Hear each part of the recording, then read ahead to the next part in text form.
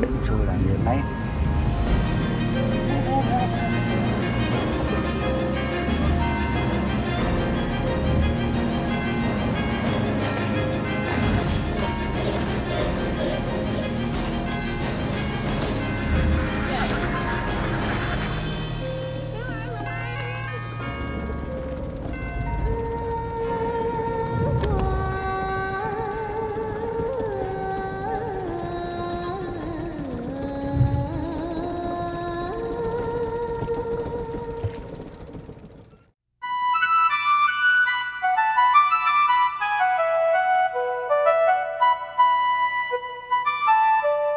đầu thế kỷ 19, đồng bằng sông Cửu Long với bạc ngàn những cánh đồng vàng đã trở thành vựa lúa lớn nhất nước. Thuở ấy, thương hồ là từ để chỉ bạn hàng sáo dùng phương tiện lớn thu mua vận chuyển lúa gạo đường dài. Nghề hàng sáo góp phần thúc đẩy hoạt động thương hồ phát triển, tạo nên nét văn hóa độc đáo của miền Tây sông nước.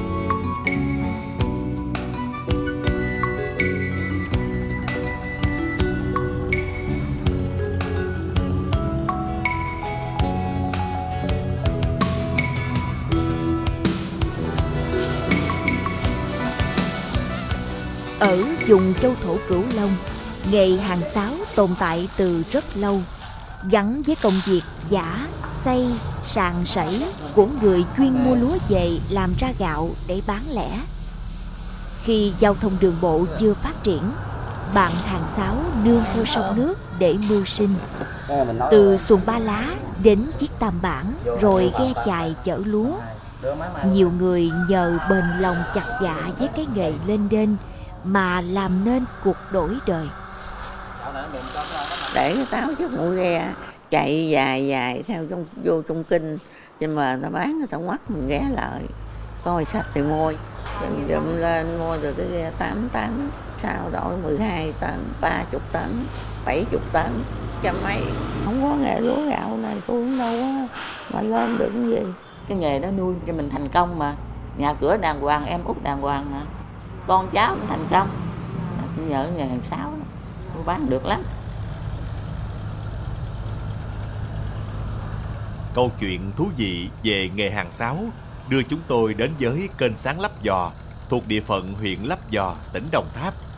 Còn được mệnh danh là con đường lúa gạo của miền Tây.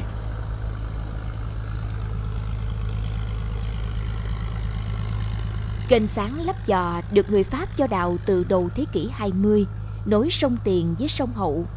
Kênh Lấp dò tiếp giáp sông Sa Đéc, trở thành tuyến đường thủy quan trọng rút ngắn khoảng cách thông thương giữa các tỉnh miền Tây với Sài Gòn, thành phố Hồ Chí Minh. Dọc hai bên bờ kênh sáng chỉ non 20 cây số, từng có thời điểm tập trung hơn 250 doanh nghiệp, lò sấy, nhà máy xây sát, lau bóng gạo với quy mô lớn. Nơi đây đã có hàng chục doanh nghiệp được cấp phép xuất khẩu gạo trực tiếp ra thị trường nước ngoài. Cứ đến mùa thu hoạch lúa, kênh sáng lấp giò lại tấp nập trên bến dưới thuyền. Con sông Hiền Hòa vẫn cần mẫn làm tròn sứ mệnh, giúp bạn thương hồ chuyên chở những hạt ngọc mùa vàng đến với muôn nơi. Dòng sông này cũng từng chứng kiến bao thăng trầm, buồn vui và cả những khát vọng của giới thương hồ chuyên nghề hàng sáo.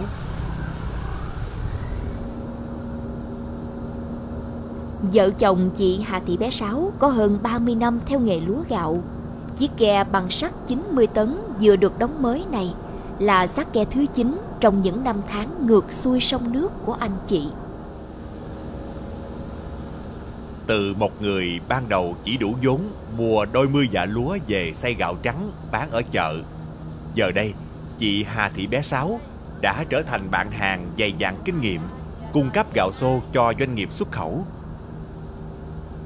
Gia đình chị có 8 anh chị em cùng làm nghề hàng sáo. Tất cả đều có cuộc sống no cơm, ấm áo. Nhờ cái nghề mà ngày trước cha mẹ vì ít ruộng vườn đành bấm bụng truyền lại cho con chị em với nhau giúp đỡ qua lại từ trên lớn giúp dài xuống. Rồi đi bây giờ thành ra cũng như tám anh em là đi hết. Đó là nguyên gia đình đi lúa gạo không? À, mình không có đất có ruộng. Ra cũng như mình sống vì cái nghiệp này rồi. Cái này là cái nồi cơm của mình thôi. Đời thương hồ rài đây mai đó Việc mưu sinh trên sông nước với đôi bàn tay trắng như cuộc ngược dòng đầy khó khăn. Nhưng vợ chồng chị bé Sáu luôn tâm niệm không vì sống cả mà ngã tay chèo. Dần già họ nhận ra làm hàng sáo tuy vất vả nhưng nếu cần cù siêng năng, nếu đủ quyết tâm thì nghề chẳng phụ người.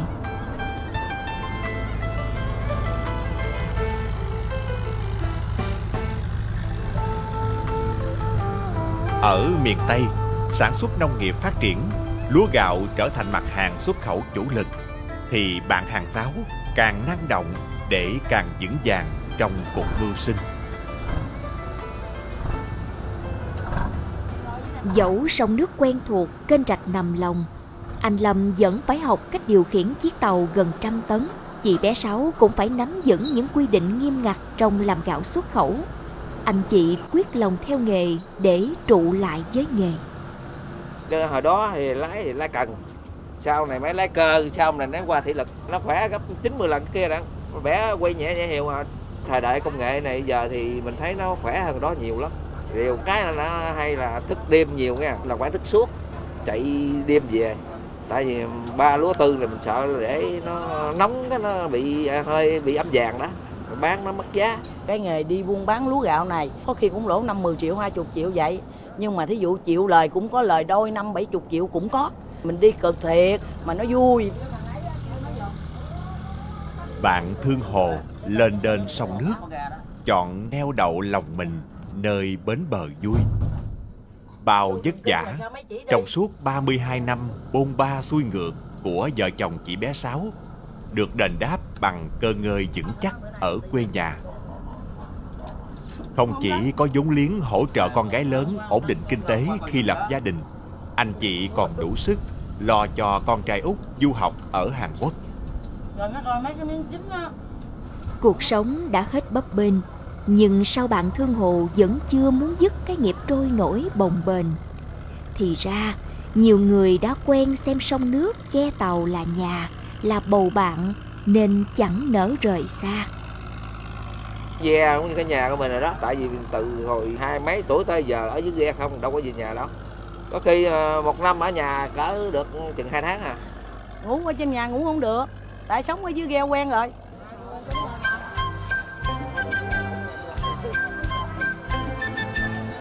Cho đến nay, ghe chài vẫn là bạn đồng hành lâu đời nhất với người làm nghề hàng sáo. Không ai nhớ chính xác chiếc ghe chài chuyên dùng chở lúa ra đời từ khi nào. Chỉ biết nhiều thế hệ người dân miền sông nước vẫn truyền miệng câu ca Đừng ham đi bạn ghe chài Cột bờm cao, bao lúa nặng, tấm đòn dài, khó đi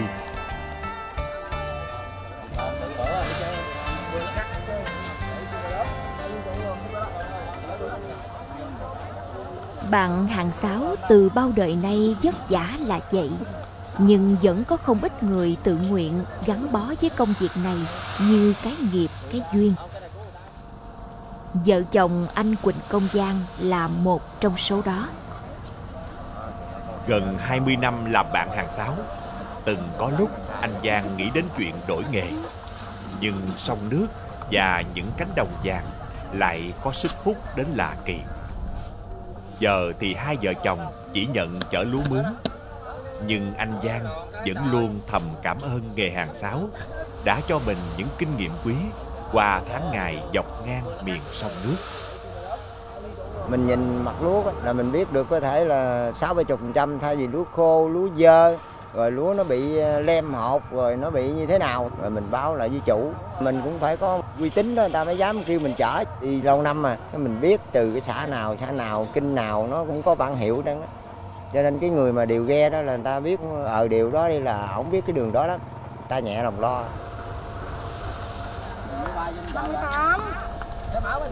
Theo vợ chồng anh Giang đi chở lúa đồng xa tận huyện Tam Nông, tỉnh Đồng Tháp. Chúng tôi tận mắt chứng kiến tài tháo giác của người phụ nữ gắn bó với nghiệp thương hồ. từ sáng sớm đến quá giữa trưa. Chị Nguyễn Thị Thu Hồng, vợ của anh Giang, chẳng phút ngơi tay với công việc cân đông ghi chép. Hôm nay chị phải giao dịch với hơn 20 chủ ruộng mới có đủ số lúa đổ đầy ghe.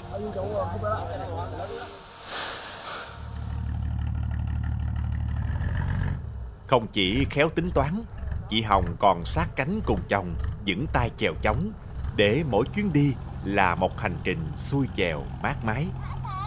bố tôi xuống ghe gọi là giá nào cũng chạy hết trơn không được đậu. Đêm hôm gì cũng phải chạy thay phiên với nhau chạy. Có những đợt từ 26 tiếng 27 tiếng mới tới đó.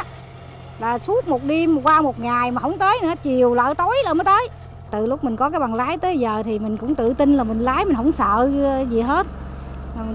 Ta lái mình cũng cứng rồi thành ra mình không sợ.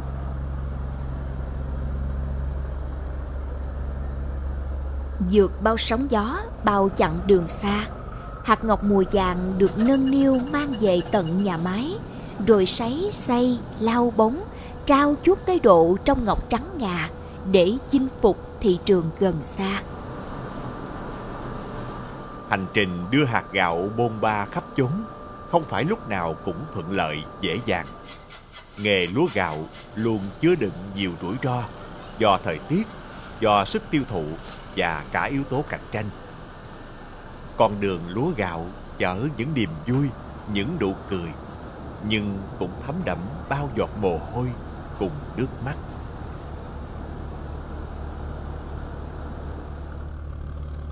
vốn sinh ra trong gia đình có ba thế hệ làm nghề hàng sáo. Anh Võ Văn Út đã nếm trải đủ đầy những cực khổ, gian nan của cuộc sống trài đây mai đó, sớm ngọn tối giảm. Khi đã đủ vững vàng, anh mạnh dạn đầu tư, đảm nhận cung cấp gạo xô với số lượng lớn cho doanh nghiệp xuất khẩu. Tới mùa vụ, anh Út thường xuyên thu mua từ 6 tới 700 tấn lúa mỗi ngày. Có 10 chiếc tàu lớn luân phiên chở lúa gạo cho anh. Tưởng công việc buôn bán, điều hành chiếm hết thời gian tâm trí. Nhưng hễ rảnh rỗi, anh Út lại tìm về với sông nước trong cảm giác thân thương như được trở về nhà. Vô mua bán cực thì cực, mà tới chừng nghỉ về nhà là không yên. Bắt đầu mới điện ghe lên, chạy lên cái mình chạy lên mình có lúa mua nữa. Nhớ sông nước với ờ, anh em đồ công đoàn rồi đó. Cái nghề này thì cha truyền con nói, cái nghề cũng mình đam mê. Thương nghề mình mới ờ, làm được, còn không thương nghề là mình làm không được. Thương cái nghề vất vả. Bao năm xuôi ngược đường dài, dập dềnh sóng nước, nhưng tình người vẫn luôn bền chặt, ấm áp. Và thương lắm những dòng sông, muôn đời chung thủy cùng bạn thương hồ. Trong hành trình nâng tầm giá trị của hạt ngọc mùa vàng trên đất phù sa.